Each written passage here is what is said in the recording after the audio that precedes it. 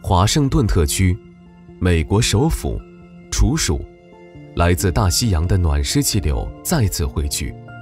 多日充沛的雨水带走了持久的酷热，也让这里的人们更加憧憬初秋的灿烂。对即将到来的秋天同样充满期待的，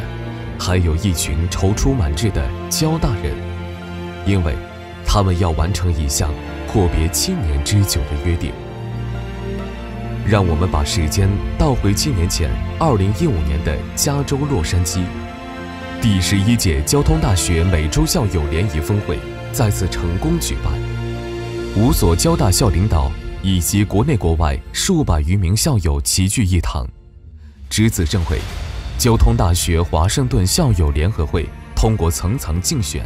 成功接过第十二届峰会承办方的大旗。华盛顿特区也时隔五十年第二次成为交大峰会的举办城市。这项始于一九六四年的全球校友大团圆，伴随着交通大学美洲校友会的诞生，寄托着老一辈远赴北美的交大人对母校的情感。全球校友五年一聚，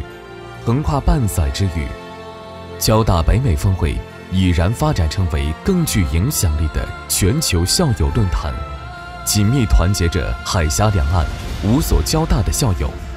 共同饮水思源，展望未来。带着对峰会的期待，时间来到二零一九年，交大华盛顿校友联合会正式开展相关筹备工作。然而，就当我们踌躇满志之时，疫情发生了。在疫情影响下，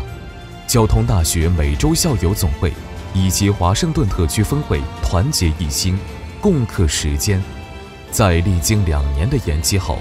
本届峰会将正式于二零二二年十月二十一日至二十三日和全球交大校友见面。DC 欢迎你，DC 欢迎你，DC 欢迎你，DC 欢迎你，DC 欢迎你。